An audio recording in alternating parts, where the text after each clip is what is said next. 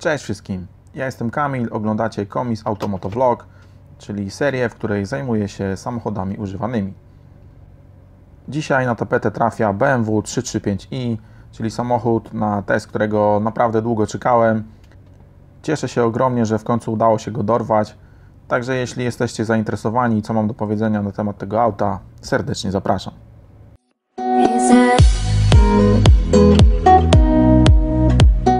BMW Serii 3 oznaczone kodem F30 swoją premierę miało w 2011 roku. Najpierw dostępne było jako sedan, rok później do gamy dołączyło kombi oznaczone symbolem F31.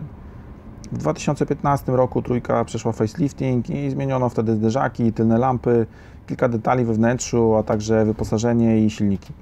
Od 2014 roku mogliśmy kupić taki top of the top, czyli wersję M3, pod jej maską znalazł się 3-litrowy silnik o mocy 450 koni. Tym razem nie udało się jeszcze zgarnąć go do testu, ale wszystko w swoim czasie. W sumie to i tak nie mam na co dzisiaj narzekać, ponieważ do dyspozycji mam model 335i. I w sumie, skoro nim zajmiemy się w dzisiejszym teście, to może na początek kilka słów na temat specyfikacji technicznej tego samochodu. Mamy tu 3-litrowy, podwójnie doładowany silnik o mocy 306 koni i do pierwszej setki ten silnik rozpędza się w zaledwie 5 sekund. Dzięki wspomnianym turbinom ten silnik tak naprawdę reaguje na gaz kompletnie bez względu na to, czy, czy na blacie mamy akurat 1000 czy 4000 obrotów. Każde dotknięcie gazu to jest natychmiastowa reakcja i redukcja 8-stopniowego automatu i w zasadzie wylot do przodu. Powiem Wam, że samochód do normalnej jazdy, takiej spokojnej, ale normalnej, gdzie w zasadzie i tak na każdych światłach będziemy z przodu, to obrotomierz tego modelu mógłby się kończyć na 2000 obrotów. Naprawdę, ja wiem, odebrałoby to, to co tygrysy lubią najbardziej, ale tak jak mówię, do zwykłej jazdy to jest to aż nadto. Być może właśnie dlatego osiągnięcie 300 konnym autem spalania w mieście poniżej 10 litrów jest całkiem realne. Ja też jakby nie wierzyłem w to troszeczkę, ale faktycznie jeżdżę, jeżdżę, jeżdżę i, i to spalanie tak wygląda i to jest coś niesamowitego przy tej mocy. Wow, nie chcę za bardzo wchodzić w kwestię upgrade'u silnika na kuchenkę gazową, bo osobiście jestem przeciwnikiem takich zmian, ale tak dla formalności wspomnę, że silniki benzynowe wyposażone są w bezpośredni wtrysk paliwa i powoduje to konieczność montażu naprawdę drogiej instalacji gazowej, także w sumie to tyle, bo gadam już i tak 20 sekund za długo na taki temat. Jak każda konstrukcja, no ta też ma swoje jakieś słabe strony. W sumie czytając jakieś fora internetowe, to co mówią użytkownicy, to najczęściej wymieniają usterki e, takie jak szwankujące wtryskiwacze, awaryjne cewki zapłonowe i, i problematyczne popychacze zaworów. Radzą też, aby cyklicznie tak mniej więcej co 50 tysięcy kilometrów czyścić kolektor dolotowy, bo gromadzi się w nim nagar. Nie będę omawiał wszystkich pozostałych wersji silnikowych, bo, bo jest ich cała masa i jeśli jesteście, zainteresowani, jakie jeszcze jednostki możemy dostać w F30, to zajrzyjcie do opisu filmu, tam to po prostu umieszczę. Co do wyglądu. W porównaniu do starszej siostry, którą projektował Chris Bangle, F30 nie zmieniła się jakoś drastycznie. Nadal widać, że jest to BMW, nadal widać, że jest to trójka. No, z daleka może być też widać, że jest to piątka. Największe zmiany to przede wszystkim agresywnie opadająca maska i reflektory z takimi kanciastymi ringami przygające do nerek i, i w sumie przeniesiono też boczne kierunkowskazy z błotników na lusterka. Jakość materiałów, jakie zostaniemy we wnętrzu jest oczywiście na bardzo wysokim poziomie, chociaż powiem tak, że można usłyszeć głosy narzekania na ich spasowanie, ja tego nie potwierdzam. Ja uważam, że cały czas pamiętając, że jest to klasa premium, uważam, że pod tym względem też jest ok. Co do miejsca z przodu, mm, czy w ogóle co do miejsca, to tak, z przodu tego miejsca moim zdaniem jest wystarczająco, chociaż na pewno ja zwrócę uwagę na fotele, które są, są bardzo wygodne, tu w ogóle nie ma, nie ma tematu, ale są też mega wąskie.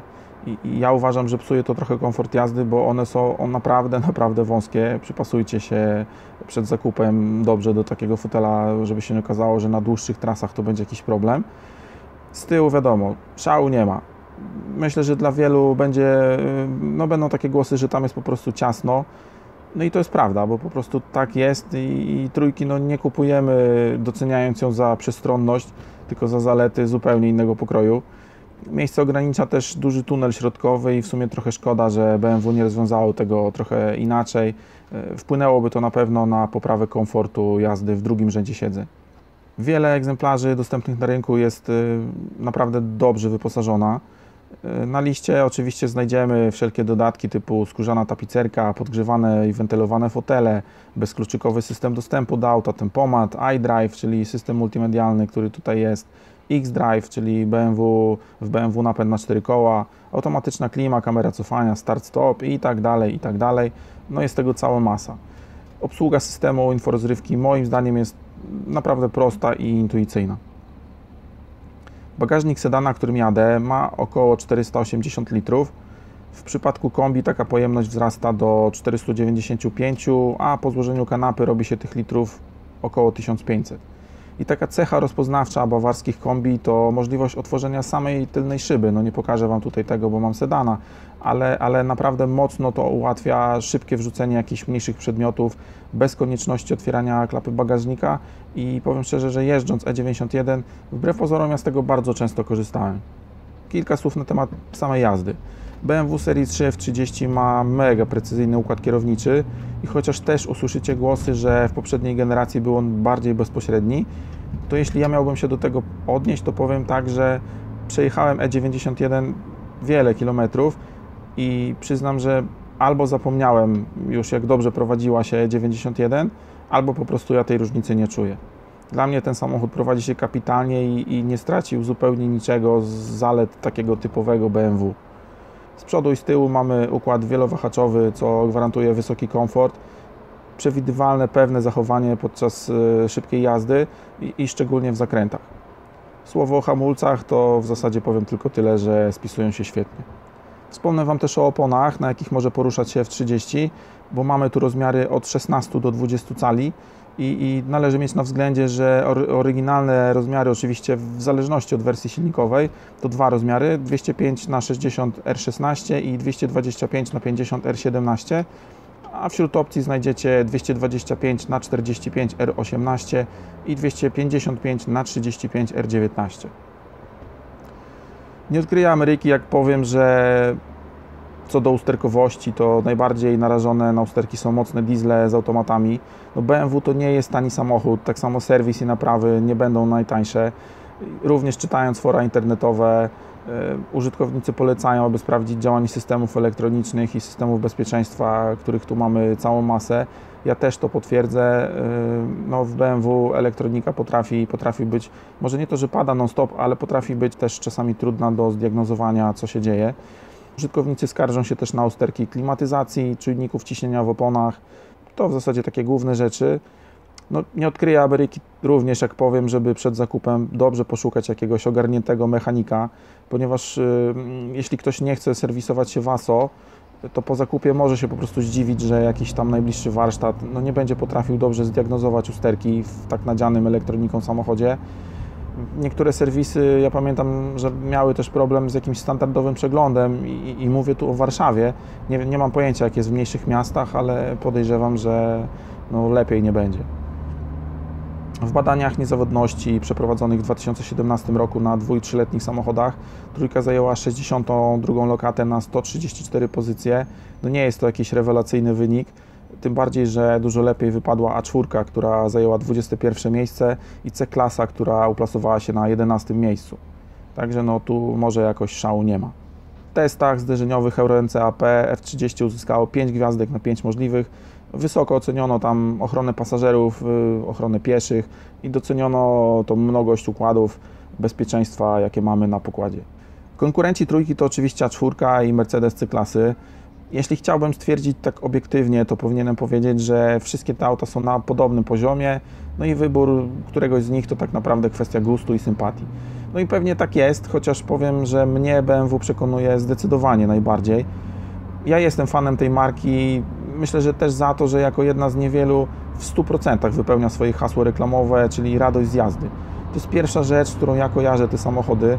Zawsze, gdy mam okazję jeździć jakąś bawarką, to na samą myśl już cieszy mi się gęba i, i to jest właśnie to, ta radość.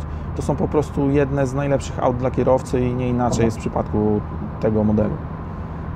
No i na koniec koszty, czyli to, co w przypadku używanych aut jest w sumie najbardziej interesujące. No, seria F30 jest na rynku już od 7 lat i przez ten czas pierwsze egzemplarze zdążyły już sporo potanieć. Może nie na tyle, żeby, kupowanie, żeby kupowane były tak często jak Focus czy Astra, ale w segmencie premium to jest zdecydowanie jedno z najczęściej wybieranych aut. Y, najtańsze egzemplarze znajdziecie już za jakieś 30 tysięcy złotych, ale kupno takiego czegoś, zamiast kupna czegoś takiego, to ja polecam Wam przekazać taką kwotę na jakiś cel charytatywny.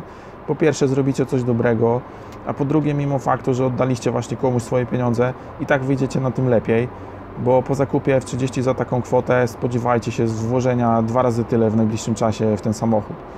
Ja powiem szczerze, że nawet za 60 tysięcy, mm, szczególnie zakup jakiejś mocniejszej wersji, to nadal rosyjska ruletka, no uda się albo się nie uda. Myślę, że 80 tysięcy to jest minimum, jakie należy przeznaczyć na zakup tego modelu w dobrym stanie, żeby po prostu wsiąść i jeździć. No, oczywiście dla, dla chcących to znajdą się i, i modele za 200 tysięcy.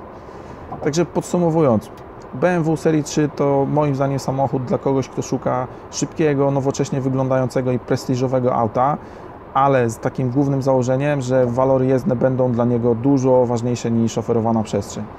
Ja zawsze będę twierdził, że to jest auto typowo dla kierowcy, szczególnie takiego, który po prostu uwielbia jeździć. E, każda trójka da masę radości, a jeśli stać Cię na wersję 3 czy 5i, to serio nie masz się nad czym zastanawiać. W zasadzie zostaje tylko kwestia znalezienia dobrego egzemplarza. Tradycyjnie na koniec chciałbym podziękować komisowi Auto Wilanowska za udostępnienie tego samochodu do testów. Polecam odwiedziny w tym miejscu, można się nawet na mnie powołać. Dzięki nim mogę robić takie, takie testy, także jeszcze raz dzięki. Równie mocno chciałbym podziękować Wam za oglądanie tego i innych filmów. W ostatnim czasie na kanale przybyło mi masę subskrypcji, za co naprawdę jestem szczerze wdzięczny. Ułatwi mi to też rozmowy z dealerami czy z producentami odnośnie udostępniania samochodów do testów. Jest po prostu łatwiej z kimś rozmawiać, jeśli mo można wykazać się jakąś oglądalnością, zainteresowaniem. Y, no, dzięki temu po prostu będę mógł robić fajniejsze, ciekawsze testy. Także jeśli podobał Wam się film, to zostawcie jakiś ślad po sobie. Napiszcie, co, co, co sądzicie przede wszystkim o tym aucie. Jak nie podobał się Wam film, to kliknijcie X w prawym górnym rogu albo back na pilocie. Nie no, oczywiście żartuję. Dajcie znać przede wszystkim, co, co sądzicie o aucie, bo to jest najważniejsze. Dla mnie to jest naprawdę debeściak. I już tak naprawdę na koniec podziękowania dla Doroty za udział w nagraniu. No myślę, że dzięki niej było dużo łatwiej słuchać mojego ględzenia. Także trzymajcie się cieplutko. Do następnego. Piona.